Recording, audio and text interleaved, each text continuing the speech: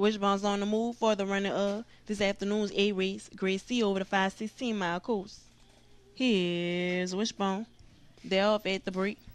1, 4, 3, 2, 7, 6, 8, and 5.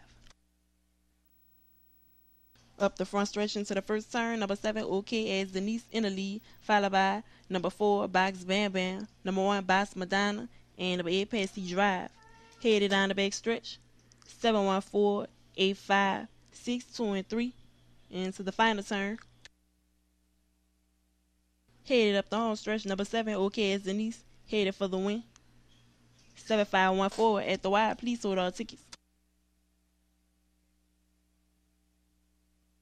of the A race are now official. Running to win Greyhound number seven, OK as Denise out of Hickman Hounds, keeps Townsend the trainer. Running to place number